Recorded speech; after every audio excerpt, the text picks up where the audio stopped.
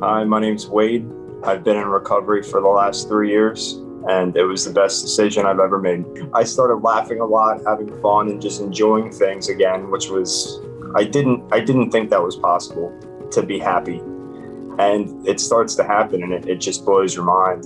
And of course, there's a lot of like materialistic things that I have today, but that's, you know, just a drop in the bucket. Yeah, I have like a savings account today, you know, like that's great. I had nothing before. And like all the money in the world's great, but I'd say like my happiness, my friends, my family, like that's really what does it for me. I think it's extremely important to have an open dialogue about recovery because before I went through the process that saved my life, I thought that I was so alone. I didn't realize that there was thousands upon thousands of other people just like me. For the first time in my life, I, I didn't feel so scared and I didn't feel so alone. And it was just nice to feel welcomed. There were other people that I could talk to about what was going on in my life. Like, I, I couldn't believe that.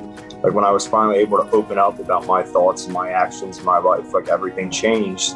But I didn't know you can't give up there was a million times that I wanted to give up on this whole thing and I would have sold myself short, you know? Like life is going to get hard, but that doesn't mean that you give up. You just keep going and you come out on the other side and your life is beautiful.